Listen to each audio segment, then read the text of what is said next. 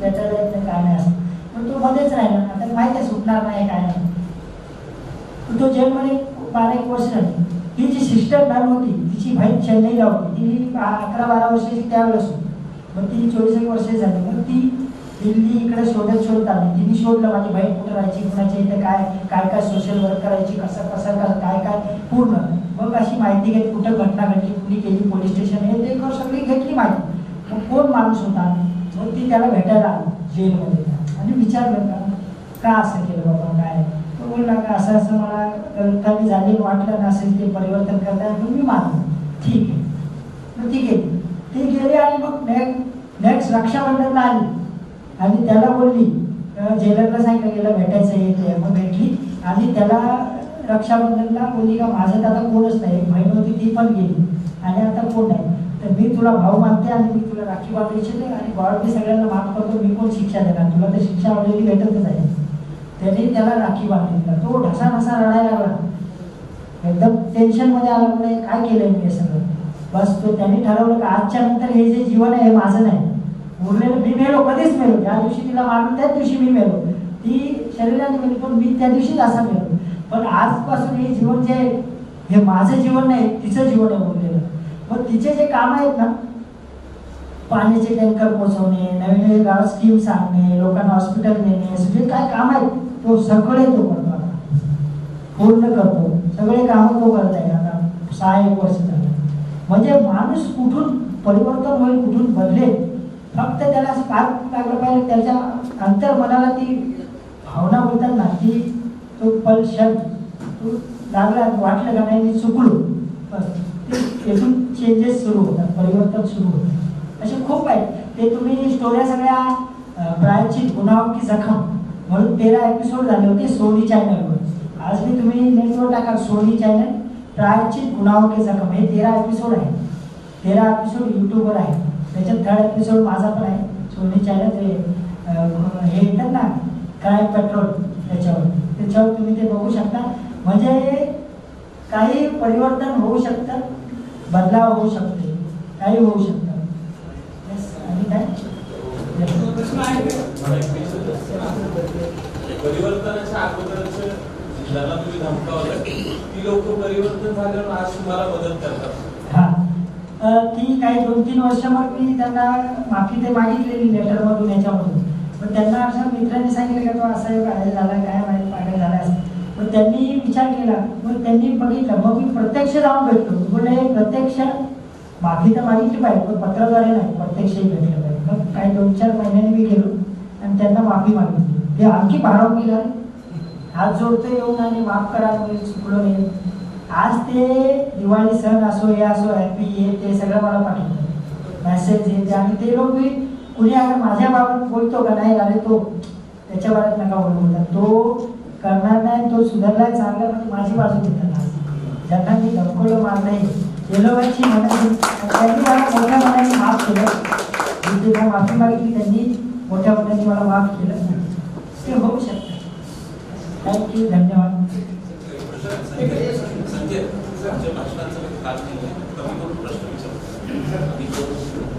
नाही परिवर्तनाआधी आणि परिवर्तनानंतर. परिवर्तनाआधीचा स्वभाव आणि नंतर. नाही परिवर्तनाच्या अगोदर प्रयत्न करायचे. कारण मला त्यांना माहीत होतं याला राग येतो. ह्याचा ग्रुप आहे याचं सगळं आहे. याला काही दोन चार पैसे दिले की आपली दुश्मनी काढून घेऊ शकतो. याला मारू शकतो हे हे करू शकतो ते करू शकतो. परंतु आता बोलतात ना. थोडी समज आल्यामुळे पहिलं विचार करतो का ह्याच्यामुळे माझं फाय समोरच्याचा काय फायदा आहे? माझं काय फायदा आहे? नुकसान काय आहे? याच्यामुळे काही नुकसान तर नाही होणार मला. याच्या माझ्या एका चुकामुळे. तर त्याच्यामुळे ते विचार करून चिंतन करून पहिलं चिंतन नाही करायचं. मी डायरेक्ट आले बोलला हां ठीक आहे ठीक आहे. तर मग डायरेक्ट हे करायचं. पण आता सध्या कसं न करता विचार करून करतो. म्हणून आणि असं काय मी स्वतःच्या मनाला विचार विचारतो बाबा हे करायचं का? नाही करायचं कुठं चुकत आहे येस तुमचं. एक सर माझा प्रश्न असा आहे की तुम्ही जे कैद्यांसाठी म्हणजे जे अं, अंतर्गुन्हेगार असतात किंवा अंतर्गुन्हेगार असतात ते, त्यांचंही मत परिवर्तन होऊ शकतं. त्याच्यासाठी तुम्ही काम करता किंवा भरपूर संस्था काम करतात पण गव्हर्नमेंट याच्यासाठी काय करत आहे आणि त्याचे भरपूर योजना राबवल्या जातात त्याच्यात काय कमतरता आहे तुम्ही त्यांना काय सजेशन द्या की त्याच्यामुळे ते कैदी जे ते बदलतील पूर्णपणे? ते गव्हर्नमेंट त्याच्या परीने प्रयत्न करत आहे पण अं, समाजाचं एक कर्तव्य आहे का त्यांना एक हे ॲक्सेप्ट केलं पाहिजे. गुन्हा ही आजारीपणाची खूण आहे. बापूजींनी बोललेलंच आहे गुन्हा ही आजारीपणाची खूण आहे. तर त्याला मानसिक आजार आहे हे समजून आता तिथे जेलमध्ये काउन्सिलिंग नाही काउन्सिलिंग प्रकार फॉरममध्ये मी ऐकले की आहे बोलतात. आता इकडे नाही मुंबईत या महाराष्ट्रात. तर काउन्सिलिंग केलं पाहिजे. तो एक आजारी आहे आजारी पण झालाय त्याचा आहे त्याला बार राग येणे चिडचिडणे या काही काही चुका करणे हे करणे ते लक्षण आहे आजारीपणाचं तर ते विचार करून त्याच्यावरती उपाय केला पाहिजे आणि समाजाने त्याला स्वीकार केला पाहिजे. घरच्यांनी त्याची स्टडी केली पाहिजे का बाबा तो असा का करत आहे त्याचं काय चुकत आहे? किंवा त्याला कसं चेंज त्याचं कसं चेंज केलं पाहिजे? असंही केलं पाहिजे. आणि त्याच्यावर प्रयोग केला पाहिजे त्यांनी. आणि बदल तर करू शकतो. नाही असं नाही. पण तू प्रयत्न केले पाहिजे. आणि त्याच्यामध्ये असे दोन जण आहे ते एन्काउंटरमध्ये नंतर मारले गेले. आणि त्याच्यामध्ये चार जण आहेत ते लोक चेंज झालेले आहेत. चार जण एकाच्या वरती आता केसेस चालू आहे बाकी तीन तर कन्फर्म चेंज झालेले आणि त्यांनी कारण तो एक युनिटी असतो ना एक ग्रुप असतो टीम वर्क असतो. कोणत्याही क्षेत्रामध्ये. टीम वर्क केल्यामुळे मग त्याच्यामध्ये मग- त्यांची फॅमिली बोलायला किती चेंज झाले असे करता ते करता तुम्ही का बारबार करताय? का मग फॅमिलीचं प्रेशर ते मित्रांचं आहे. मग त्याच्यावर मग त्यांनाही कुठेतरी वाटतं अरे किती मोकळेपणे राहतो जगतोय हे करतोय बिंदास आहे. ह्याला काय टेन्शन आहे? आपणच टेन्शन घेतोय. खूपच हे करतोय. मग ते ऐसते ऐसते त्यांचं कमी कमी करत ते बाकी तीन चार जणांनी थोडे चेंजेस आणलं पण सुरुवात कोणीतरी केली पाहिजे ती- मला संधी मिळाली. चांगली गोष्ट आहे. हा?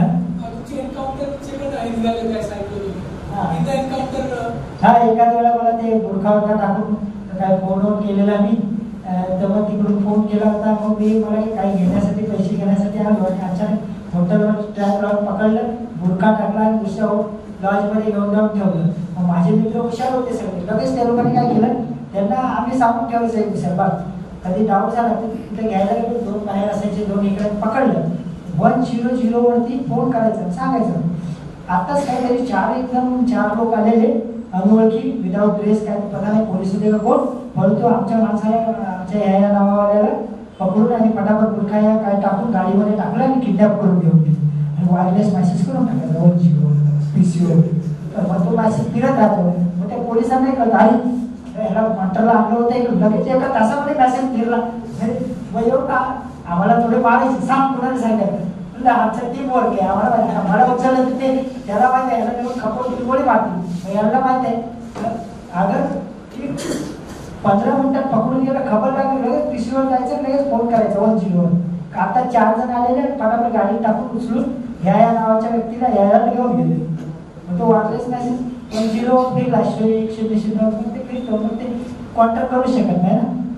असं आहे तर त्याच्यावर ते पुढे प्लॅनिंग करून म्हणजे हे सांगण्याचं बघा किती शार्प माइंड असतं. किती एक कदम होतं ना पोलीसवाल्यांचं नाही होतात गुन्हा घडल्यावर येतं क्रिमिनल कसं एक कदम पुढे असतो. परंतु तीच गोष्ट अगर पॉझिटिव्ह थिंकिंग सकारात्मक विचारसरणी घेऊन चांगल्या कामासाठी केलं तर किती समाजाचं देशाचं लोकांचं भलं होऊ शकतं. ती मी एनर्जी त्यांच्यामध्ये बघितली. ज्यांच्या कैद्यांमध्ये मी हे बघितलंय त्यांच्यामध्ये एवढी क्वालिटी असते. त्याच्यामध्ये एक दोन गुण अवगुण असतात. एक दोन अवगुण असतात पण त्याच्यामध्ये चांगले गुण खूप असतात.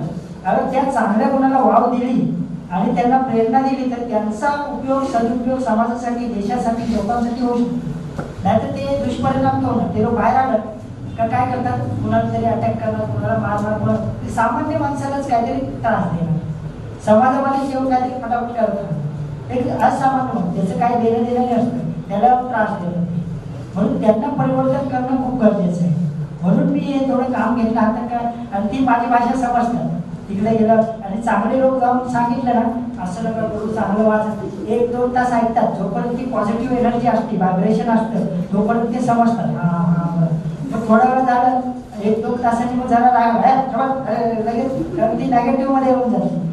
आणि मी तिकडे जातो त्यांना सांगतो का बघा तुमच्या वर्गाच मी आहे. तुमच्यामध्येच आम्ही लोक किती लोक चेंज झालेले आहेत? आम्ही बी तुमच्यामध्येच आहे तर तुम्ही बी इकडे येऊ शकता. आता मध्ये अशोक राणे म्हणून साहेब होते जेलर रोड जेलला. ते नाशिक जेलला होते त्यावेळेस. मी जेव्हा चेंज झालो त्यावेळेस. तर ते तिथे बघायचे अवताडे साहेब ते सिनियर ते मी मग ते लोक त्याची मी माझी खूप इन्क्वायरी घेतली. म्हणजे इन्क्वायरी विचारपूस.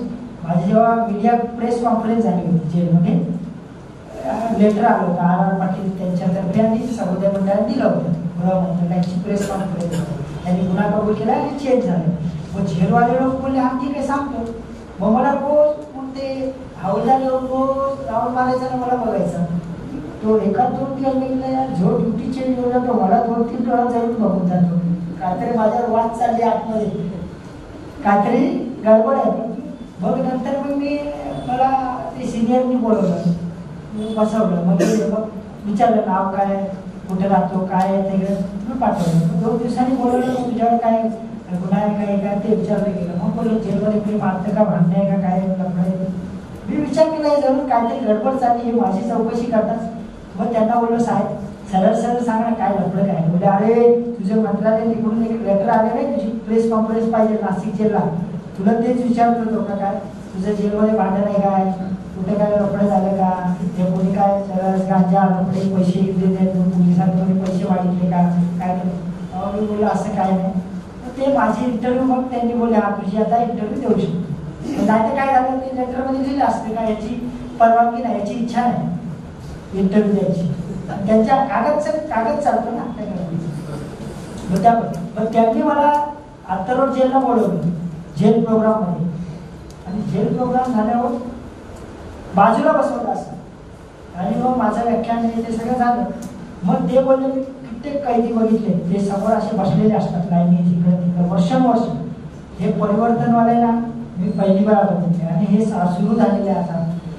तर तुमच्यामध्ये बी ती सूक्ष्म शक्ती आहे. बंद्यांना सांगत होते तुमच्यामध्ये बी ती सूक्ष्म शक्ती आहे का? तिकडून येऊन तुम्ही माझ्या बाजूला चेअरच्या बाजूला सोबत बसू शकता. पण त्याच्यासाठी सुरुवात परिवर्तन घडवलं पाहिजे तुम्ही स्वतः केलं पाहिजे आणि D I G I G आता नवीन आलेले बायखेड्याला ते आले तेव्हा त्यांनी मला बोलवलं होतं. तिकडे तर असे सगळे ते स्वतः बोलतात तू काय काय ऍक्टिव्हिटी करू शकतो आणखी काय कार्यक्रम करू शकतो कर.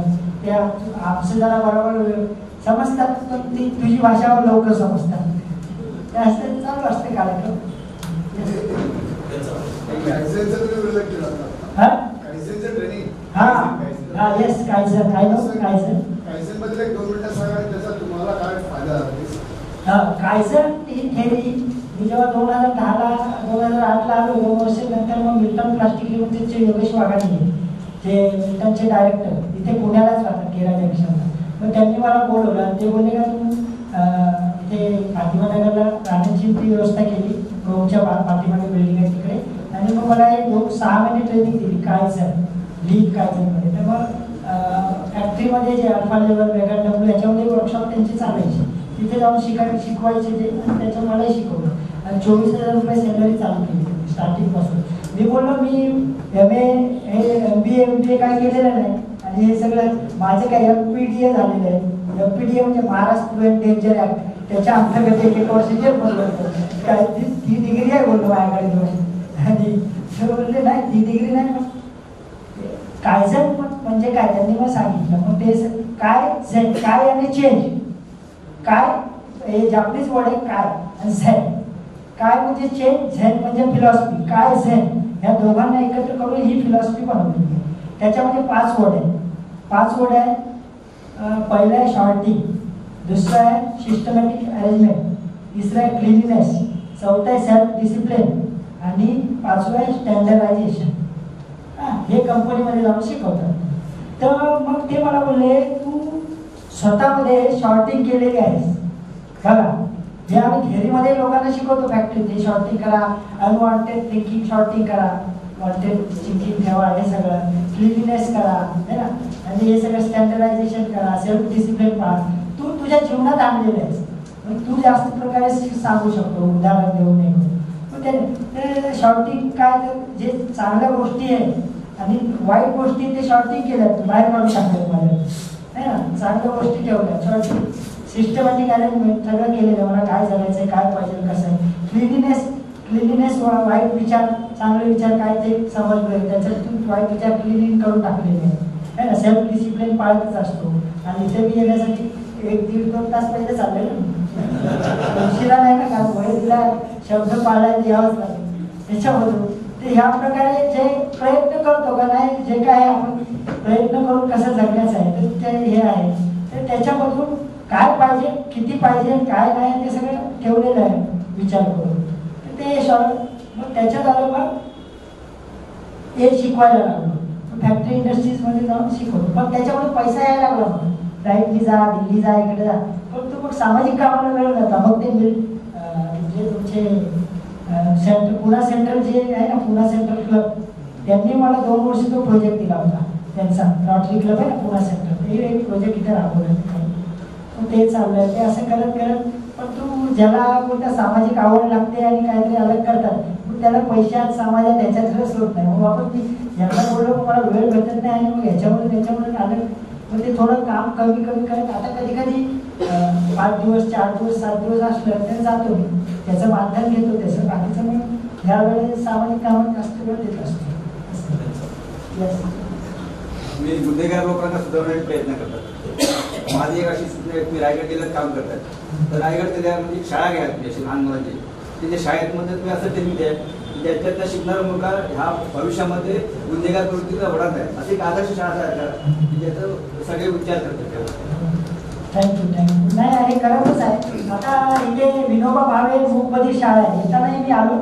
येताना मी दोनची ट्रेन होती. एक वाजता मी तिथे पोहोचलो. आणि तिथे विनोबा भावे मूकबधीर शाळा आहे. तिथे मी महिन्यात तीन एक भेट देतो तिथे गेलो.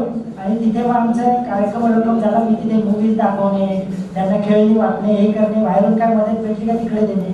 मग मी सांगितलं का कुठे चाललंय ते विचारलं. मी सांगितलं असं असं कार्यक्रम आहे. तर मी सरांचं शंभर सरांचं अश्विनजीचं नाव सांगितलं ते येणारे कार्यक्रम आहेत.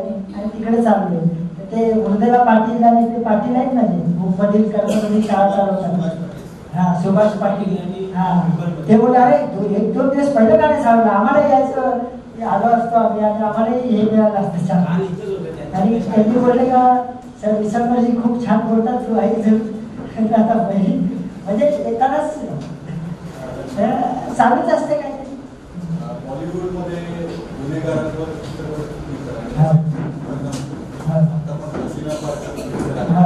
अरुंधतीचा पिक्चर आहे. अं, तर मग याच्यातचा एक असा मेसेज येतो की याच्यामध्ये पण एक करिअर ठीक. हो नाही खरंच याच्यामध्ये तू काय सांगते सर कमेंट नाही याच्यामध्ये ना करिअर आहे पण करिअर आहे म्हणजे कसं शॉर्ट टर्म करिअर आहे तुम्ही जे काही गुन्हेगारी कराल तुमच्याकडे चारशे करोड पाचशे करोड आठशे करोड येतील आता आहेत त्यांच्याकडे पण ते लोक जेलमध्ये बसले. काय फायदा तो पैसा कमवून तो धड ते वापरू शकतात आता ते नागपूर एकपूर जेलमध्ये पडले. या कुठे आहे तर पैसा भेटू शकतो पण सुख शांती समाधान भेटणार नाही. आणि जे इज्जत आहे समाजासाठी ती भेटणार नाही. जी आज खुल्या वातावरणात आणि समाधानाने शांतीने एकदम मानवर करून तुम्ही जगतोय तुम्ही जगतोय कसं नाही बसू शकत. कुठेतरी मनात दर्पण असणार हा एक गोळी आले तो मारेल असं होईल तसं होईल. म्हणजे घुटघुटके मरणार होतात ना ते होतं आणि खूप लोक बोलतात शॉर्ट टर्ममध्ये पैसा कमवूया आणि नाव करूया नंतर बिझनेस लाईन मध्ये घुसूया. त्याच्यासाठी मी काही काही लोक क्राईममध्ये घुसतात. का थोडे दोन चार पाच वर्ष क्राईम करायचे पैसे आले का मग ती जी नवीन पिढी असते त्यांचे शूटर उटर घेते त्यांना हँडओव्हर करायची घ्या आता तुम्ही सांभाळ आणि ते बिझनेस मध्ये घुसतात. राजकारणात काही बोलू शकतो.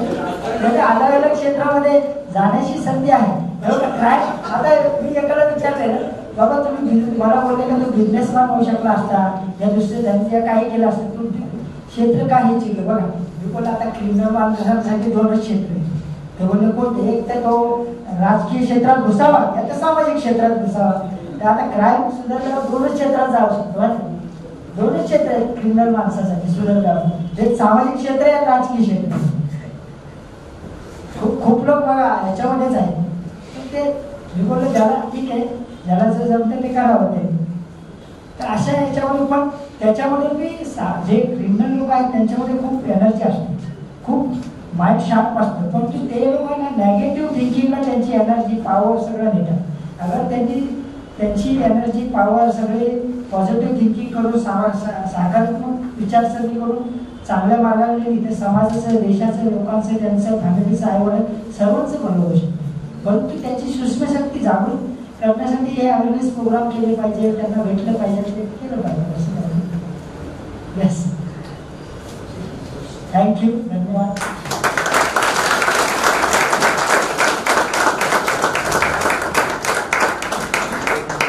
लक्ष्मण गोळे सरांनी अतिशय सुंदर रीतीने आपला जीवन प्रवास मांडला आणि गांधी मजबुरी नाही मजबूती का नाम आहे. हे स्वतःच्या आयुष्यातून सिद्ध करून दाखवले. सोबतच म्हणजे त्यांच्यासोबत मला एक पुस्तक प्रकाशनाची संधी मिळाली मला. माझ्या पुस्तकाची दुसरी आवृत्ती मी येरवड्या जेलमध्ये प्रकाशित केली होती. तर तेव्हा काही कैद्यांशी संपर्क करता आला तिथे. ओपन जेल होतं. तिथे म्हणजे जे कैदी ज्या कैद्यांची चांगली वागणूक आहे असे कैदी तिथे असतात ओपन जेलमध्ये आणि ते दोन तीन वर्षांचं सुटणं असतं तर आम्ही त्यांना त्यांच्याकडून जाणून घ्यायचा प्रयत्न करते ना. एक जणाचे तीन डिप्लोमा झालेले. एक जण डिग्री करतोय मोठी एक जण एल बी करतोय. पण त्यांना शिक्षणासाठी पुस्तकं नाही आहेत तर मग आमच्या ग्रुपने एक इनिशिएटिव्ह घेतलं आणि त्यांच्यासाठी पुस्तकं आम्ही सुरू केली आहेत. तर आता म्हणजे तीन ते चार तिथलच्या कैद्यांची पुस्तकं जमा झाली आहेत. तरी पण आपल्याला आपल्यासही विनंती आहे की समूहाला जोडा जोडून घ्या आणि पुस्तकांसाठी मदत करा. आम्ही आता म्हणजे लवकरच असाही संकल्प आहे आमचा की अ, वाचनालय सुरू करावं त्या कैद्यांसाठी. आणि सोबतच अजून एक सांगायचं होतं की knowing Gandhism knowing dot Gandhism dot in ही आपली एक वेबसाईट आहे. गांधीबद्दल कोणतीही शंका असेल तर त्याचं प्रत्येकाचं निराकरण त्या वेबसाईटवर आपण केलेलं आहे. आणि प्रत्येक महिन्यात जी व्याख्यानमाला होते त्याचे अपडेट्स त्याच्या सगळ्या प्रेस नोट किंवा सर्व माहिती त्याच्यावर दिलेली आहे. आता असीम सरदे सर पण आपल्यासोबत आहेत आणि त्यांचा परिचय देण्यासाठी मी जयपाल गोळे सरांना विनंती करतो त्यांनी परिचय करून द्यावा. मी लॉ जे आहे आय एस मधून कंप्लीट केलेलं आहे. ते दोन सध्या ट्रस्ट माध्यमातून सामाजिक उपक्रम करतात. एक आहे ते ट्रस्ट आणि human rights and law and defence आजच्या ज्या कार्यक्रमाचे निमित्ताने जे आपले प्रमुख ते रक्षण पुढे तसंच त्यांनी महाराष्ट्रामध्ये अजून सर्व सरांनी एवढा जेलमध्ये वर्षभर कैद्यांना गांधींविषयी माहिती दिली होती. आणि त्यानंतर एक वर्षभरानंतर त्याच कैद्यांची त्यांनी एक एक्झाम पण घेतली होती. ती परीक्षा त्यांनी ऐच्छिक ठेवली असा वेगळा उपक्रम सरांनी महाराष्ट्रामध्ये केला. दुसरी गोष्ट सरांनी दोन पुस्तकं खूप प्रसिद्ध आहेत. आज त्यातलं एक पुस्तक आहे ते कौटुंबिक हिंसाचार आणि कायदा. आणि एक दुसरं आहे ते पॉईंट ऑफ व्ह्यू त्यांना मी विनंती करतो की असं करायचं नाही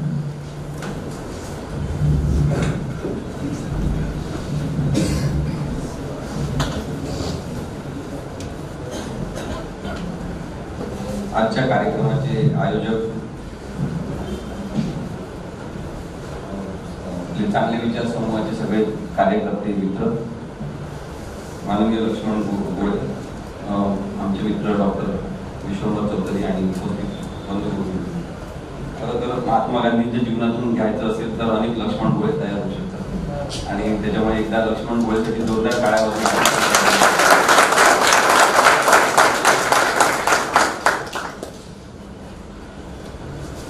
विश्वंभर चौधरी अण्णा हजारेंसोबत बरेच वर्ष राहतात अं, त्यांना पण त्यांनी काही गांधीचे प्रयोग करायला सांगितले आणि अण्णा आजारे पण प्रसिद्ध झाले.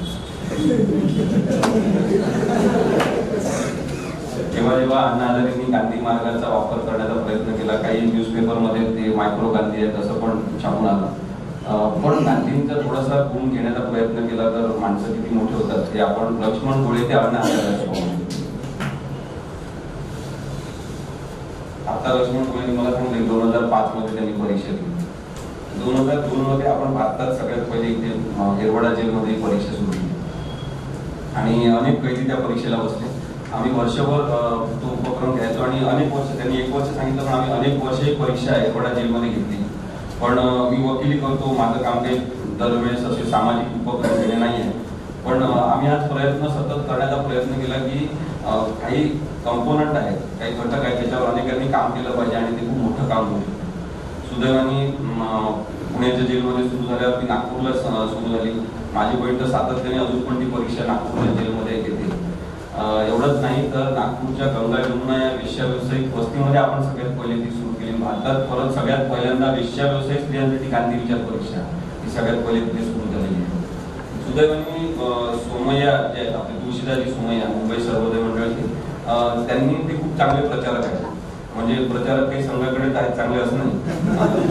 त्यांच्यासारखे खूप चांगले प्रचारक आहेत काही गांधी विचारांवर काम करणारे. त्यांनी ही परीक्षा उचलून धरली आणि त्यांनी मुंबईच्या कारागृहामध्ये ठाण्याच्या कारागृहामध्ये वेगवेगळ्या ठिकाणी परीक्षा सुरू केली आणि तिथे लक्ष्मण गोळे गांधी विचाराशी परिचित झाले. आणि मला हे आधीपासून आम्ही सांगत होतो जेव्हा जेव्हा ही परीक्षा इथे सुरू झाली तेव्हा वेगवेगळ्या लोकांना आम्ही तिथे घेऊन गेलो. म्हणजे तेव्हा निळू फुले होते मी निळू फुलेंना कारागृहात नेलं. त्यानंतर श्रीराम लागूंना एकदा नेलं. अमृता सुभाष एकदा आली होती. असे अनेक जण सदाशिव अमरापूरकरांना एकदा घेऊन गेलो तर उद्देश हाच होता की त्यांच्या माध्यमातून त्यांच्या तोंडून ज्यांना आपण स्क्रीनवर बघतो जे खूप वेगळ्या वेगवेगळ्या भूमिका करतात त्याच्यामुळे आपल्या मनात काहीतरी छाप असते त्यांची. त्या लोकांनी सांगितलं पाहिजे कैद्यांना की आपण चांगले होऊ शकतो. आणि तो खूपच चांगला मानसिक पुनर्वसनाचा प्रयोग आहे हे मी सातत्याने सांगण्याचा प्रयत्न अं, अधिकाऱ्यांना पण केला. परंतु अनेक अडचणी असतात. म्हणजे आता लक्ष्मण गोळेंनी त्याची परिस्थिती सांगितली त्याच्यामुळे मी पण सांगतो की मी काही गुन्हेगार म्हणून सिद्ध झालेलो नाही आहे त्याच्यामुळे आमच्या म्हणण्याला एवढं महत्त्व नाही. मगाशी मी विश्वंभर चौधरींना तेच म्हणत होतो की सापडलेले लोक गुन्हेगार असतात आणि नाही सापडत ते बरेचदा गुन्हेगार नसतात. एवढंच फरक असतो. पण अं, कारागृहामध्ये आपल्यालाच म्हणजे आपण जेव्हा चांगलं काम करतो तेव्हा गुन्हा गुन्हेगार ठरवलं जा- जाते बरेचदा म्हणजे मी अक्षरशः माझी बायको पण येते आम्ही मी रडलो काही काही वेळेस रात्री की काम बंद कसं करायचं याचं? असे सतत प्रयोग केला आणि काही अधिकारी फार वाईट असतात. मी तर असा विचार केला तर मी रमाला म्हटलं पण मी एखादा छोटासा गुन्हा करतो जामीन वगैरे घ्यायचा नाही मी जेलमध्ये जातो तिथे काम सुरू परवा मग परवानगीची वगैरे काही करत नाही. कारण की सतत एवढे दूर जायचं ट्रॅफिक मधून आणि मग तिथून ते मग थांबून ठेवणार मग परत पाठवणार मग सांगणार एवढेच कैदी घ्या तेवढेच कैदी घ्या. आणि गांधींना काही परीक्षा वगैरे मान्य नव्हती. त्याच्यामुळे मी असं तिथे प्रयोग सुरू केला की पुस्तक आम्ही त्यांना द्यायचो वाचून घ्यायचो. तिथे गांधी आर्ट आहे जिथे महात्मा गांधींना ठेवलं होतं. त्याच गांधी आर्टमध्ये बसून आम्ही ते पुस्तकं त्याच्याकडून वाचून घ्यायचो. आणि मग त्यांची परीक्षा घेताना त्यांना पुस्तकातून पाहून उत्तर लिहायचं. अशा प्रकारे एक ओपन परीक्षेचं स्वरूप पण आम्ही तिथे ठेवण्याचा प्रयत्न केला. त्यानंतर आपण पाहतो की अनेक लोकांनी जी परीक्षा दिली लक्ष्मण बोले सांगितलं मला आपल्याला मुद्दाम एक गोष्ट सांगायची की एक कुखा अतिरेकी म्हणून ज्याला आपण फाशी दिली. भारतात आणि खूप लोकांना आनंद झाला. ठीक आहे प्रत्येकाला गुन्ह्यासाठी शिक्षा व्हायलाच पाहिजे कोणाला माफी मिळायला नको असं माझं म्हणणं आहे. पण याकूब मेमननी सुद्धा गांधीच्या परीक्षा दिली आणि त्यांनी तिथे सुप्रीम कोर्टात जेव्हा अपील केलं तेव्हा हा मुद्दा वापरण्याचा पण प्रयत्न केला. आता ठीक आहे काही पैकी आपल्या भल्यासाठी ते वापरण्याचा प्रयत्न करतील किंवा मी नाही आहे तसा. मी गांधी विचार परीक्षा पण दिली मी सुधारतो होतो. हे सगळं सांगायचा त्यांनी प्रयत्न केला. संजय दत्त इथे होता. मग संजय दत्त आम्ही भेटलो. तर कारागृहातले अधिकारी त्याच्यामुळे पण नाराज. संजय दत्ता कशाला भेटले? त्यांनी सांगितलं संजय दत्तने एका जणांनी लोक पाठवला की मला भेटायचं. आम्ही भेटलो. आणि मग त्याला पण आम्ही कन्व्हिन्स केलं की परीक्षा दे. तेव्हा त्यांनी पण सांगितलं की परीक्षा मला द्यायची मी त्यांना जेव्हा आम्ही बोललो तेव्हा मी संजय दत्तला म्हणालो की तुम्ही अभिनय वगैरे फार चांगला केलेला आहे लगे मुन्नाबाई वगैरे सगळं. पण आता प्रत्यक्ष पण गांधी विचार अंमलात आणण्याची गरज आहे. आणि संजय दत्तने होकार दिला. आता मला माहिती होती काही बहुतेक शक्य होणार नाही कारण त्याचे जेवढे बेलसाठी प्रयत्न सुरू होते मोठ्या मोठ्या वकिलांना तर लगेच जामीन त्याचा झाला. परंतु हे सगळं सांगण्याचं कारण एक आहे की कुणाकुणाला संधी मिळते आणि त्याचं संधीचं ते सोनं करतात. लक्ष्मण गोळे त्याच्यापैकी एक आहे ही परीक्षा सुरू करून कोण बदलले असतील कोण नाही बदलले असतील पण अनेक लोकांपर्यंत हा विचार पोहोचला. मग अनेक लोकांनी मला हे पण म्हटलं होतं कार्यक्रमामध्ये गांधी विचार परिषद का? तर मला खरं तर आंबेडकर विचार परीक्षा पण सुरू करायची आहे. या सुरू करायला पाहिजे असं मला लोकशाहीवर आधारित परीक्षा तिथे सुरू झाली पाहिजे. मग लोकांनी ते सुरू करा. म्हणजे मी वकिली करतो. मी काही नेहमी सामाजिक कामं करू शकत नाही. मला माझ्या मर्यादा लक्षात आहे आणि त्याच्यामुळे मी ते सुरू करून ठेवलेलं आहे. आपण ते पुढे नेऊ शकतो. असे अनेक घटक आहेत. आमच्या कामामधून आम्ही ते निर्माण केले म्हणजे एच आय व्हीच्या प्रश्नावर इथे दुधारपेठमध्ये काम करत असताना पण किंवा अपंगांच्या प्रश्नावर पुण्यामध्ये काम करत असताना पण की मला फक्त रेल्वेसाठी उशीर झाला मला जाणवलं की इथे खूप अंध लोक रेल्वेच्या प्लॅटफॉर्मवर आहेत. त्यांच्याशी बोलत बोलत गेलो तर तिथे जवळपास दोन तास ट्रेनचा उशीर होता. दोन तासामध्ये अनेक लोक जमा झाले अंध लोक आणि आम्ही अंध लोकांच्या प्रश्नावर काम सुरू केलं आणि लक्षात आलं की इथे आयुक्तालय पुण्यामध्ये आहे अपंग आयुक्तालय. आणि त्यांना कोणी रोजगाराची संधी देत नाही. आणि आम्ही त्यांचा सगळा डेटा पण कलेक्ट केला. त्याच्या संदर्भातला कायदा काय आहे समजून घेतला. त्याच्याबद्दलची एक जनसुनवाई आम्ही घेतली. तर अजूनही अंध अपंग लोकांच्या प्रश्नांवर काम करण्याची गरज आहे. एच आय व्हीच्या प्रश्नावर कायदेशीर अंगाने काम करण्याची गरज आहे. गांधी विचार परीक्षा ही केवळ परीक्षा नाही हा विचार आहे आणि हा विचार मानसिक पुनर्वसन. आपल्या इथे चार ते पाच कायदे आहेत ज्याच्यामध्ये पुनर्वसनाचा विचार आहे आणि ते बॉडीली रिहॅबिलिटेशन शारीरिक रिहॅबिलिटेशनचा विचार आहे. एका शरीराचं रिहॅबिलिटेशन करायचं आणि त्याचा सगळ्यात सोपा मार्ग भारत भारत सरकारने किंवा महाराष्ट्र शासनाने किंवा आपण जिंकून काढलेला त्यांना पैसे द्यायचे. आता लक्ष्मण गोळेच्या बोलण्यातून जे महत्वाचं घ्यायचं ते असं आहे की केवळ पैसे देऊन अशा प्रकारे पुनर्वसन होऊ शकत नसते. मानसिक पुनर्वसन आवश्यक आहे. आम्ही सर्वे पण केला. दोन हजार तीन मध्ये चारमध्ये आम्ही सर्वे केला आणि चित्रलेखांचा पूर्ण सर्वे छापला होता. त्याच्यामध्ये पंच्याऐंशी टक्के लोकांनी सांगितलं ते लक्ष्मण गोळेंनी नंतर केलं. त्यांनी पत्र वगैरे पाठवले. पंच्याऐंशी टक्के कैद्यांनी सांगितलं की आम्हाला जर संधी मिळाली सुधारण्याची तर आम्ही माफी मागायला तयार आहे. आम्ही ज्यांच्या संदर्भात गुन्हा केला त्यांना आम्ही परिवारात जाऊन माफी मागू. हे पंच्याऐंशी टक्के लोकांनी सांगितलं. आता आपण सिस्टमॅटिकली जेव्हा काहीतरी करण्याचा प्रयत्न करतो तेव्हा सरकारला बरेचदा ते आवडत नाही. कारण की लोक अवेअर होणं हे क्लोज सिस्टीममध्ये मान्य नाही. ज्या बंदिस्त व्यवस्था आपल्या आहेत त्यांच्यामध्ये लोक अवेअर होणं लोक सजग होणं ते काहीतरी काम करत राहणं ते काहीतरी विचार करणं हे त्यांना मान्य नाही. आणि त्याच्यामुळे पण अनेक अडथळे येतात. मला असं वाटतं की मेंटल रिहॅबिलिटेशनचा विचार भारतामध्ये होतच नाही. जे लक्ष्मण गोळेंनी पण मगाशी सांग सांगण्याचा आपल्याला प्रयत्न सतत केला की सतत बदल्याची भावना घेऊन तिथे लोक जगतात. आणि मला हे तुम्हाला मुद्दाम सांगायला पाहिजे की पंचेचाळीस टक्के पहिल्यांनी तेव्हा सांगितलं होतं की आम्ही बाहेर गेल्यावर वकिलांचा बदला घेऊ. कारण की वकिलांमुळेच आम्ही आतमध्ये आलो असं पण काही जणांचं म्हणणं की आमच्या केसकडे लक्ष दिलं नाही. आता आपण जर हे छोटे छोटे घटक लक्षात घेतले नाही तर आपण कदाचित सुधारणा आपल्या कारागृह विभागामध्ये करू शकणार नाही. त्याच्यामुळे हा विषय आहे तो प्रिझन रिफॉर्मचा कारागृह विषय सुधारणांचा आहे. आणि त्या दृष्टीने कोणीच विचार करत नाही. आता ते मंजुळा शेट्टीचं हत्या झाली कारागृहामध्ये.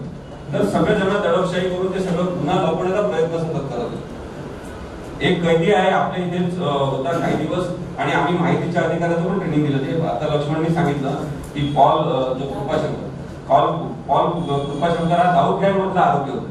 जेव्हा दाऊद इथे वाढत होता मुंबईमध्ये त्यावेळेस सोबत चहा पिणारा सोबत टपरीवर राहणारे असे ते दाऊद सोबत राहिलेला तो पॉल कृपाशंकर त्यांनी परीक्षा दिली.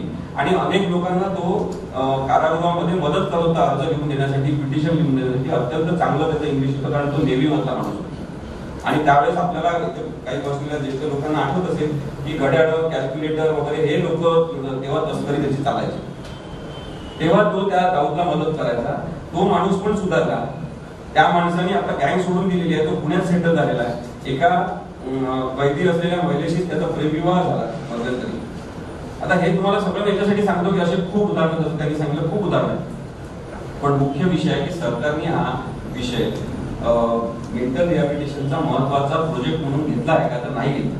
म्हणून मला संकेत आणि सगळ्यांना सांगायचं आहे की आपण त्याच्यासाठी प्रयत्न करायला की अशा प्रकारचं मेंटल रिहॅबिलिटेशनची गरज आहे कारण की बॅकअप माइंड आपण ज्याला म्हणतो की जेव्हा माझ्या मनात दुसरे दुसरे विचार येतात तेव्हा चांगला विचार त्याच्यावर हवे होणारा त्याच्यावर मात करणारा कोणता आहे तो असला पाहिजे. आणि तो नसल्यामुळे तिथे कैदी अजूनही सुधारणेच्या वाटेवर जाताना आपल्याला दिसत नाही. या सगळ्या प्रश्नांच्या सोबतच मला हे पण सांगायचं कोल्हापूरच्या जेलमध्ये आम्ही एक ही परीक्षा घेतली. त्यानंतर पॅरालिगल ट्रेनिंग घेतलं की कैद्यांनाच आपण वकील म्हणून ते ऐंशी टक्के वकिलांचं काम तर करू शकतात. त्याच्यामुळे त्यांना तसं तयार करण्याचा प्रयत्न केला. तर त्याच्यातून खूप मोठं यश आलं. पुण्याच्या पण जेलमध्ये तो घेतला की काही डॉक्टर आहेत काही इंजिनियर आहेत काही वकील आहेत काही पोलीस अधिकारी आहेत मोठे मोठे जे जेलमध्ये आहेत. या सगळ्यांना आम्ही निवडलं जे शिकलेले आहेत आणि त्यांना सांगितले की तुमच्या शिक्षणाचा फायदा जन्मठेप तुम्हाला लागलेला आहे. तुमच्या शिक्षणाचा फायदा तुम्ही या कैद्यांना करून दिले चांगल्या पद्धतीने आपण काय पिटिशन घेऊ शकतो सुप्रीम कोर्ट आणि हायकोर्टासाठी तर त्याच्यामध्ये एक कंपोनंट होता की आम्ही राईट टू इन्फॉर्मेशन ऍक्ट पण शिकवतो आता काय झालं याच्यामुळे की अचानक राईट टू इन्फॉर्मेशनचे अर्ज खूप यायला लागले. पोलीस महासंचालकांच्या ऑफिसमध्ये की इतके भात आणला त्याचं हे आणलं त्याचे हिशोब द्या त्याचं हे द्या. त्यांना लक्षात येतं तुम्ही एवढे कसे काय आरटीआय अर्ज द्यायला लागले? आणि मग जेव्हा त्यांच्या लक्षात आलं त्यांनी सांगितलं की तुमचं काम बंद. तर पारदर्शकता ही नको आहे. पारदर्शकता कारागृह प्रशासनाला असेल लहान मुलांचं बालसंगोपन केंद्र चालवलं तिथे असेल किंवा महिलांसाठीचे शेल्टर रूम चालवलं तिथे असेल कोणालाच पारदर्शकता नको आहे. आणि त्याच्यामुळे हा विषय इथेच थांबता कामा नये. प्रबोधनाच्या पातळीवर अडखळलेले गांधीवादी तर बरेच आपण गांधीला ऍक्शनमध्ये आणण्याचा प्रयत्न जेव्हा जेव्हा करू जो आम्ही इथे करण्याचा प्रयत्न केला आणि लक्ष्मण गोळींनी आपल्यासमोर सगळं आपलं मत मांडलं. एक माणूस बदलला असेल दहा माणसं बदलले असेल वीस माणसं बदलले असेल ही संख्या लहान नाही हे आपण समजू कारण की मारून टाकून शिक्षा देऊन आपण त्या लोकांना चांगलं करू शकत नाही हे आपल्या समाजाला पटलं पाहिजे. टाटा इन्स्टिट्यूट सोशल सायन्सने हा रिपोर्ट प्रसिद्ध केला आहे की शिक्षा देण्याशी आणि माणसं सुधारण्याचा काही संबंध नाही. त्यामुळे सुधारणावादी शिक्षा सुधारणावादी विचार आणि मेडिकल रिहॅबिलिटेशन याचा जर पूर्ण विचार आपण करायला लावू शकतो सरकारनं तर आपण खऱ्या अर्थाने लोकशाहीवादी होऊ शकतो. हा त्याच्याशी संबंधित पूर्ण विषय असं मला वाटतं. म्हणून त्यांनी ज्या घटना सांगितल्या असतील त्या आपण केवळ मनोरंजक पद्धतीने घेता कामा नये. म्हणजे काही जणांनी सिनेमा काढण्याचा प्रयत्न केला तो डब्यात पडलेला त्यांनी सांगितलं. निघेल सिनेमा पण अनेक सिनेमे निघतात तसे. परंतु सरकारने याच्या संदर्भात योजना आता तयार करणं आवश्यक आहे कारण की प्रिझन रिफॉर्म्स हा खूप महत्त्वाचा विषय मी आणखी एक छोटासा मुद्दा सांगतो थांबतो. एक कैदी याला माहीत असेल. संजय दत्तला सोडलं. त्याला पॅरोल दिली त्याला फॉर्म दिली जेव्हा पाहिजे तसं त्याला दिलं त्याची बायको आजारी असं सांगितलं त्याला सोडलं.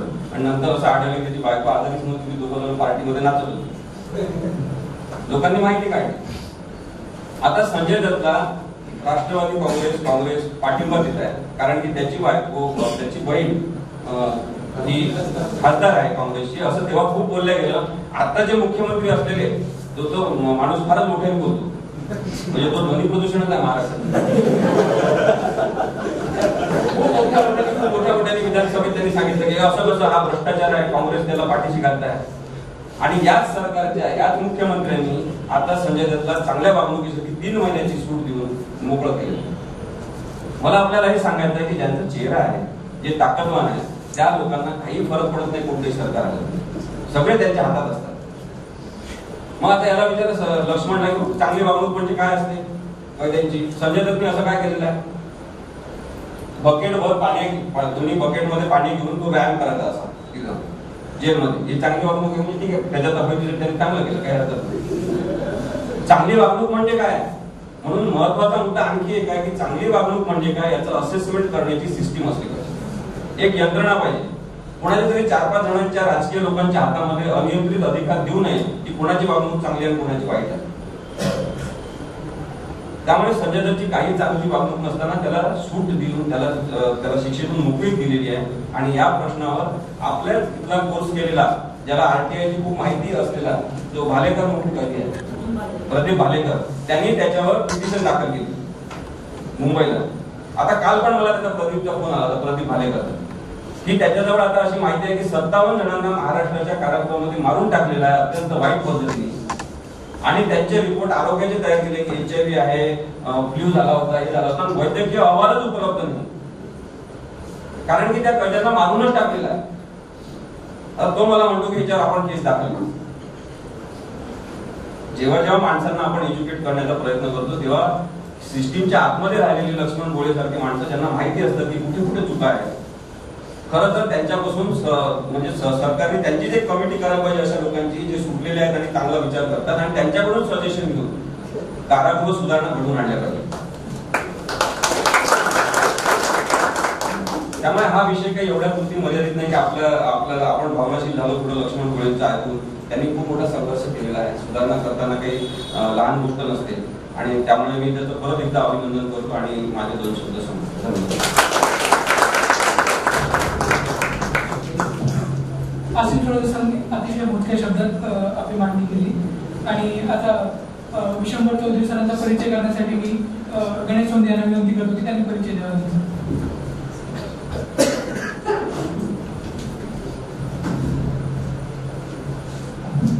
नमस्कार.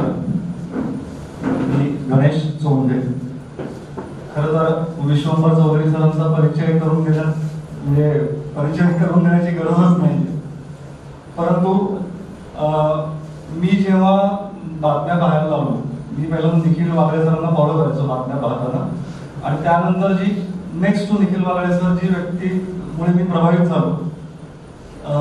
ते म्हणजे डॉक्टर विश्वंभर चौधरी सर यांचा परिचय मला करून त्यांना आज इथे संधी मिळते मी एक्साइटेड त्या बाबतीत. सरांचा एक अल्पपरिचय करून देतो. एन्व्हायरमेंटल इम्पॅक्ट असेसमेंट या विषयात सरांनी डॉक्टरेट मिळवली आहे. विविध वृत्तवाहिन्या Zee Marathi sorry Zee Zee T V Saam T V I B N Lokmat अशा वृत्तवाहिन्यांमध्ये वेगळ्या वेगळ्या चर्चासत्रामध्ये आपण त्यांना कायमच परखड मतं मांडताना व्यक्त होताना पाहत आलोय. त्याचबरोबर विविध वृत्तपत्रांमध्ये मासिकांमध्ये नियतकालिकांमध्ये सरांचे लेख खूप जण वाट पाहून वाचत असतात. सोशल मीडियावर फेसबुकवर आज सर काय म्हणतात याची सर्वजण उत्सुकतेने वाट पाहत असतात.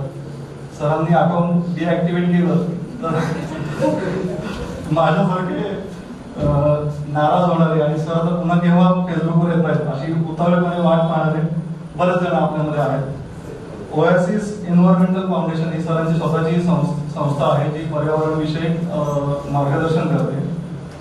तर मी डॉक्टर विश्वंभर चौधरी सरांना विनंती करतो की त्यांनी इथे येऊन आपले विचार मांडावे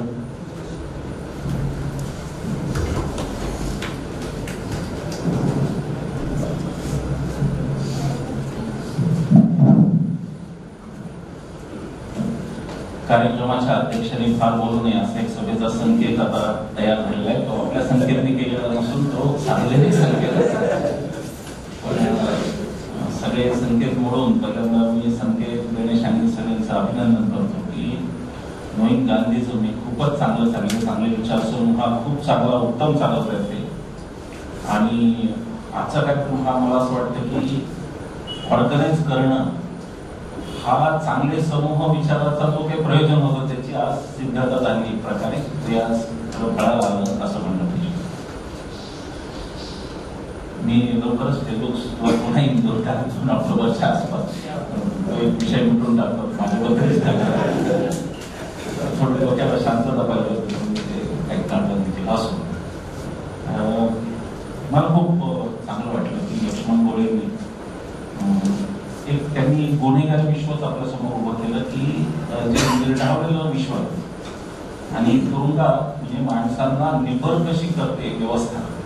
आणि मग ती माणसं निबर कशी होऊन जातात? ते त्यांनी फार सुंदर पूर्वाधार त्यांनी सांगितलं. आपल्या सगळ्यांसाठी हा वेगळाच अनुभव म्हणजे चळवळींमध्ये अटक होतच असते. त्याबद्दल काही प्रश्न नाही. पण ती अटक वेगळ्या स्वरूपाची संदीप किती झाल्या अटक? आम्हाला आणि संदीप. समोर जातात त्यांचं चालू आहे संजय काकडेंच्या विरोधातलं आंदोलन खूप वाटतं दर सोमवारी ते अटक करून घेतात. एखाद्या सोमवारी नाही गेलं तर पोलिसांना चुकलं चुकलं आज काही सुट्टीचं नाही ना असं पोलीस असो ते आपल्या अटकेचे अनुभव वेगळे असतात. तिथे आपल्याला फार काही टॉर्चरला खरं काही त्यांना वाव नसतो आणि आपण शक्यतो ती लवकर बाहेर होतेच ते पाहत असतात. पण ज्या प्रकारची अटक ही गुन्हेगारी विश्वातली आहे तर मला असं वाटतं की आपल्या सगळ्यांसाठी ते नवीन विश्व त्यांनी उभं केलं. की तिथली परिस्थिती फार दिशा असते. मला काही असीम सरांच्या एवढं मी काम नाही केलं जेलमध्ये. त्यांनी खूपच काम केलं. मानवाधिकारासाठी ते संघर्षात काय. पण मला ते एवढा अनुभव नाही. पण एकदा मला जेलमध्ये काही सामाजिक उपक्रम घेण्यासाठी जाण्याचा योग आला होता. आणि ते बायकांचं जेल होतं. येरवड्याला बायकांचं शिक्षण होतं. म्हणजे की तुमच्याकडे फक्त महिला कार्यकर्त्या जाऊ शकतात. अं, तर मी म्हणालो की असं का म्हणजे महिला कार्यकर्त्यांनी का जाऊ इतकी विदारक परिस्थिती आहे की आणि ही सत्य का म्हणजे ही घटना त्यात कोण करतील नाही किंवा त्यात काही आम्ही काही असं सांगतही आहे तर ते म्हणाले की अं, या बायका चार चार पाच पाच वर्ष जेलमध्ये असतात. त्या सेक्स स्ट्राईव्ड असतात. त्यांची सेक्सची भूक एक असते आणि म्हणून कोणी पुरुष गेला तर त्याच्यावर भीषण अशा प्रकारचा तिथे हल्ला होऊ शकतो. इतकं हे विदारक जग आहे. हे इतकं विचित्र जग आहे की सांगून विश्वास नाही बसणार. पण सगळ्यात वाईट काय केलं तर त्यांची छोटी मुलं ठराविक वयाची ती त्या बायकांच्या सोबतच असतात. आणि फक्त ग्रे कलरमध्ये करड्या रंगात रंगवलेल्या भिंती या पलीकडे त्या मुलांना कुठलंही विश्व राहत नाही. तो ठरवून टाकणारा आपल्याला की छोटी मुलं कोळी मुलं चोवीस तास आपल्या आईबरोबर आणि फक्त करड्या रंगाच्या भिंती तर ते सगळं ईशान. ते जगच फार वेगळं फार वेगळं. पण असे मी अगदी बरोबर सांगितलं की त्या जगाला सुधरवण्याचा काही प्रयत्न आहे आपली व्यवस्था करते का तर ती तसं करत नाही. असं उलट आपण त्याला कसं भेटू नये जास्तीत जास्त. लोकांनी कसं त्यांच्यापर्यंत बोलू नये. कारण एक माणुसकीचा तो धरा लागतो प्रशासनामध्ये तो आता पूर्णतः आटलेला आहे. लोक मेकॅनिकल झालेले की फक्त हे माझं काम एवढं आहे आणि त्याच्या पुढे मी जाणार नाही अशा प्रकारे. पण लक्ष्मण गोळेंनी जे काही सांगितलं तो एक अद्भुत अनुभव आहे. आणि मला असं वाटतं की सत्याचे प्रयोग हे किती आजच्या काळात खरं असत्याचाच योग रोज येत असताना सत्याच्या प्रयोगांचं काय महत्त्व आहे हे असं मला त्यांनी सांगितलं. मी एक नवीन गोष्ट आज त्यांच्या बोलण्यातून शिकलो. ती गोष्ट मी अशी शिकलो की अहिंसेकडे जाण्याचा सत्य हाच मार्ग आहे चांगला सगळ्यात हे मी शिकलो. की शेवटी ते अहिंसक झाले बरोबर आहे पण त्यांनी सत्याचे प्रयोग आधी केले. आणि सत्य आणि अहिंसा ही काहीतरी दोन वेगळ्या टोकावरची मूल्य आहेत असं आपण समजण्याचं कारण नाही. सत्यातून अहिंसेकडे चांगल्या गतीने जाता येतं हे आपल्याला सांगण्याची गरज आहे. ते जास्तीत जास्त समाजापर्यंत पोहोचलं पाहिजे. गणेश मला आठवण करून दिली की आता हा दसरा नवरात्रीचा सध्या काळ आहे आणि अनेक लोक शस्त्रपूजन करणारे लोक आपल्या समाजाला समाजात आहेत. तर हे शस्त्र त्याचे जे आहे ते मला वाटतं शस्त्र पूजन करणाऱ्यांपर्यंत पोहोचवलं पाहिजे असं मला वाटतं. की शस्त्र शस्त्र ही काही पूजनीय गोष्ट नाही. शस्त्र ही त्याजनीय त्या तिचा केला पाहिजे अशी ती गोष्ट आहे. आणि म्हणून खरं आपण सुद्धा शस्त्र त्याजन समारंभ दसऱ्याच्या मुहूर्तावर करायला काही हरकत नाही जिथे तिचे शस्त्रपूजा ही विकृती असं मला वाटतं. शस्त्रपूजन ही विकृती असं मला वाटतं. की माणुसकीचं नातं संपवून एका शस्त्राच्या मदतीने आम्ही कोणाला तरी संपवू शकतो. एका संहारक शक्तीचा तो खरं म्हणजे ती पूजा आहे असं मला वाटतं. तर संहारक शक्तींची पूजा होता कामा नये शस्त्रपूजन जे जे करतात त्यांना शस्त्रांचं किती संहारकता काय असते? आणि आता तर जागतिक पातळीवर सुद्धा दोन शस्त्रपूजन माझेच एकमेकांना फेडलेले कोरिया आणि अमेरिकेच्या तुमच्या रूपाने. आणि शस्त्र सुद्धा एकमेकांच्या डोक्यावर वगैरे जायला लागले. जपानच्या डोक्यावर क्षेपणास्त्र गेलं होतं शस्त्र ही अत्यंत टाकाऊ गोष्ट आहे. ती फक्त दुर्बलांना भित्र्यांना शोधते ज्याच्याजवळ सत्य आहे ज्याच्याजवळ अहिंसेचं मूल्य आहे त्याला शस्त्र शोभत नाही हे आपण सांगण्याची गरज आहे. दुर्दैवाने शस्त्राच्याच मध्ये फिरलेले हे सगळे राज्यकर्ते सगळ्याच पक्षाचे असतात आणि त्यामुळे त्यांना शस्त्राचं महत्त्व जास्तच वाटत असतं. कारण म्हणजे पण शस्त्र ही महत्वाची गोष्ट नाही. शस्त्र त्याग ही महत्वाची प्रेरणा असं मला वाटतं. त्यांनी एक फार महत्वाची गोष्ट सांगितली. ते म्हणाले की सच बोलणे से अहिंसा अपने आप ही फार महत्वाची गोष्ट आहे. कारण एकदा सत्याचा शोध घ्यायला लागलो पहिलं सत्य मला असं वाटतं आपल्याला हे लक्षात येतं की आपण कोणाला जीवन देऊ शकत नाही. आणि मग ते जर देऊ शकत नसो तर घ्यायचंही आपल्याला अधिकार नाही. त्या अहिंसेची गोष्ट मला वाटतं त्या सत्यातून उमटत जाते. की पृथ्वीवर आपण सगळे कोणालाही जीवन नवं देऊ शकत नाही. पण ते जीवन जर आपण जर देऊ शकत नसू तर ते घेण्याचाही आपल्या अधिकार नाही हे सोमयाजींच्या फार मोठं मला वाटतं काम आहे असे सरांचं काम आहे की अशा प्रकारे एक परिवर्तन होत आहे. गांधीजींचा विश्वास हा हृदय परिवर्तनावर जास्त होता आणि ते किती कामाला येते हे आता दिसत. बुद्धी परिवर्तन ही गोष्ट अवघड आहे. बुद्धी परिवर्तन व्हायला पाहिजे पण हृदय परिवर्तन हे त्यापेक्षा जास्त सक्षम गोष्ट असतात हृदय परिवर्तन ही त्याहीपेक्षा उपयोगाची गोष्ट आणि बुद्धीच्या परिवर्तनाचे अनेक प्रयोग करूनही आपल्या देशात खूप लोक असेच राहिलेले आहेत त्याच्यात काही फार बदल झाला नाही. पण हृदयाच्या प्रेरणेतून जर काही बदल झाला तर तो करावा असं सांगणार आहे. म्हणून मला असं वाटतं की मेंदूपेक्षाही हृदय हे महत्वाचं अवयव आहे हे या प्रयोगातून खरं सिद्ध झालं आहे. तिथे खूप तरुण मंडळी बसलेले म्हणून गांधीजींचे सगळेच तरुण त्यांच्यासाठी चांगली गोष्ट त्यांनी असं सांगितली की सत्य बोलल्यामुळे लग्न होऊ शकतं हे चांगलं काही अडचण नाही त्यामुळं प्रपोज करताना सत्य सांगून बघा चांगलं वगैरे आणि त्या सत्यातून झालेलं लग्न हे जास्त चांगलं लग्न असेल हे आता लक्ष्मण गोळेंनी त्यांच्या स्वतःच्या उदाहरणावरून मला असं वाटतं की दाखवलं खूप काही बोलता येईल खूप काही करता येईल. आजचा प्रसंग त्यांच्या अनुभवाचा ऐकण्याचा होता त्यांच्याशी संवादाचा होता. म्हणून मी असं म्हणालो की आता आम्ही थोडा कमी बोलतो. आणि असंही म्हणालो की आता आमची जागा थोडी तिकडे करा आणि तिकडचे इकडे संदीप आहे गणेश संकेत हे सगळे आता इकडे होते तिकडे सल्लागार मंडळात टाका असं मी त्यांना सल्लागार मंडळ फार पॉवरफुल असं मार्गदर्शक मंडळ त्याला म्हणतो असंही म्हणतात. पण चांगली गोष्ट आहे. हे सगळं तरुण मुलं करतात ही फार चांगली गोष्ट आहे. म्हाताऱ्या लोकांनी करण्यातून तरुण लोकांनी वेगळा अर्थ असतो. तो ही तरुणाई करते याच्याबद्दल मी खरं या म्हणून गांधीजींचं कौतुक करतो. आणि मी लक्ष्मण गोळे यांना शुभेच्छा देतो की पुढच्या आयुष्यात सुद्धा ते त्यांचं आयुष्य काय जाईल आणि सगळं तंत्रज्ञान त्यांनी सांगितलं ते सॉर्टिंग आणि ते सगळं त्यांच्या आयुष्यात झालेलं आहे आता.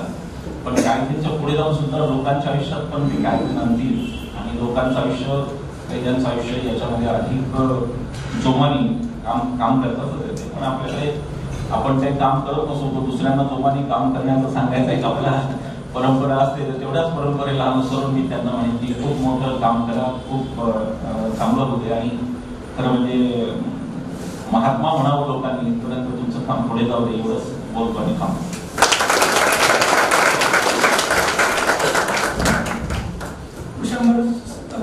खूप आहेत. एक परिचयाची वही सर्व नाव लिहिलं आहे त्याच्यामध्ये? कोणी राहिले परिचयाची वहीमध्ये नाव लिहिलं आणि नंतर आपल्यासमोर नक्कीच विषम विशंभर चौधरी सर आसिम चौधरी सर आणि लक्ष्मण गोरे सांगितलं त्या याच्यावर काम करेल आणि पुढे आपण जाऊ त्या उद्देशाने. अजून एक सांगे विनंती करायची होती की एक नंबर लिहून घ्या आणि त्याच्यावर एक मेसेज करा. तुमचं नाव नंबर आणि कुठे म्हणजे पत्ता. आयोजित केलेला आहे. डॉक्टर गणेश देवी यांच्या हस्ते त्याचं उद्घाटन आहे. तर तिथेही सर्वांनी यावं. आठवडाभर सर्व खूप छान छान कार्यक्रम आहेत तिथे. तर त्या त्यातही सर्वांनी सहभाग घ्यावा. विनंती आहे. आणि दोन ऑक्टोबर रोजी महात्मा फुले हॉल इथे भवानीपेठ इथे सुनील गौतम शिवार सरांचं महात्मा गांधी विचार याच्यावर व्याख्यान आहे. तर त्यालाही सर्वांनी उपस्थिती दाखवावी. आणि आता आभार प्रदर्शन करण्यासाठी मी विलास किरोते सरांना विनंती करतो. असता मी बरोबर लक्ष्मण गोळे यांना घ्यायला गेलो. आणि तिथपासून इथपर्यंत साडेपाच पर्यंत त्यांच्याशी बोलत होतो. अत्यंत साधी राहणी असलेला हा कार्यकर्ता काय पाच दहा हजार रुपये जे काही मानधन भेटतं त्याच्यावर स्वतःचं घर चालवतो आहे स्वतःची संस्था आहे. दोन दुकानं नेरळला चालवत स्वतःचं घर चालवण्यासाठी. त्याचं कुटुंब भाजीपाला विकतंय आणि स्टेशनरी विकतंय. संस्था असून सुद्धा. हे मी याच्यासाठी सांगतोय की मी स्वतः एनजीओ कन्सल्टंट आहे पंचवीस वर्ष या फील्डमध्ये काम करतोय. मागच्या महिन्यामध्ये राज्याचे टॉपचे राजकारणी यांचा मला फोन आला. त्यांच्या मिसेसचा आणि म्हणे सर आम्हाला पैसे पाहिजे. एका बाजूला हा माणूस मला म्हणत होता सर मला पैशाची गरज नाहीये. माझं चाललंय व्यवस्थित चाललंय. दुसऱ्या बाजूला टॉपचे राजकारणी महाराष्ट्रातले. त्यांच्या मिसेसचा मला फोन आला. आणि माझा सल्ला घेतला की आमच्या एनजीओ साठी काही एक दोन पाच कोटी असतील तर जरा कुठून तरी मिळवून द्या. मित्र मी पंचवीस वर्षाच्या फील्डमध्ये. एक आठवडा असं जात नाही की ज्या आठवड्यात मला फोन येत नाही की सर शंभर कोटी भेटतायत दोनशे कोटी भेटतायत पाचशे कोटी भेटतायत कसे घ्यायचे? कसे वाढवायचे? मी एकच त्यांना सांगतो घेऊ नका. जेलमध्ये जर जायचं नसेल तर घेऊ नका. एका बाजूला सामाजिक क्षेत्रामध्ये मी सामाजिक क्षेत्रात काम करतो म्हणून मी सामाजिक क्षेत्रातलं तुम्हाला उदाहरण देतोय.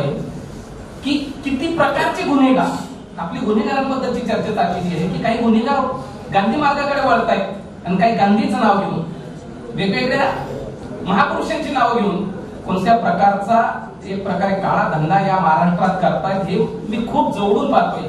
कारण आतापर्यंत शंभर ते दोनशे एनजीओ मी रजिस्टर करून दिले आहेत आणि चारशे ते पाचशे एनजीओजना आता मी महाराष्ट्रापासून ते बाहेरच्या राज्यापर्यंत सुद्धा सल्ला देतोय. जेव्हा निलेश सारखे मित्र मला जेव्हा फोन करतात किंवा काही चांगले दाते मला जेव्हा फोन करतात की सर आम्हाला डोनेशन द्यायचं आहे. आम्हाला चांगल्या एनजीओची नाव सांगा. विशंभर चौधरी सर सगळ्यात अवघड प्रश्न मला हा विचारला जातो आणि मला याचं उत्तर लवकर देता येत नाही. चांगली एनजीओ म्हटलं बापरे अवघड आहे. तुमच्यापैकी बहुतेक लोक ज्या सामाजिक कार्यकर्त्याला किंवा कार्यकर्तीला महाराष्ट्रातल्या अत्यंत चांगली पूजनीय ओळखतात मानतात तिच्या व्याख्यानाला त्यांच्या व्याख्यानाला जातात. ते किती ह्युमन राईटच्या गडबडीमध्ये अडकलेले हे मला जवळून माहिती त्यांच्या फायली माझ्याकडे ऑडिटपासून एनजीओ रिपोर्टपासून ते एव्हरीथिंग पासबुकापर्यंत. इतका हा म्हणजे ज्या माणसाने कुणीतरी पाकिट मारलं कुणीतरी काहीतरी छोट्या भावनेच्या आहारात जसं लक्ष्मणरावांनी सांगितलं तो बिचारा जेलमध्ये जातो आणि बाहेर येतो आणि बाहेर म्हटलं तुला एवढी बचबच कोणी माजलेली आहे. की ती पाहवत नाही. जसे असीम सरोदे सर कैद्यांसाठी काम करतात तसं ओपन जेल आणि एरवडा जेल पुरुषांचं आणि महिलांचं. त्याच्यामध्ये सुद्धा मी एक महिना गेलेलो आहे गुन्हेगार म्हणून नाही काउन्सिलर म्हणून. त्यांचं मी खूप जवळून वाचलेलं आहे पाहिलेलं आहे. ऐकलेले त्यांच्याशी मी बोललेलो आहे. खूप परिवर्तन होतं त्यांच्यात खूप बदलतात ते भावनेचे आहारात काहीतरी असे गुन्हे घडून ते आतमध्ये गेलेले असतात. गरज आहे तुमच्या माझ्या सारख्यांची. जसं असीम सरोदे सरांनी सांगितलं की त्यांचं मेंटल रिहॅबिलिटेशन काउन्सिलिंग याची आज अत्यंत गरज आहे. प्रचंड गरज आहे. काउन्सिलिंगची स्कीम चालू आहे. त्याला एनजीओजना पैसे भेटतायत.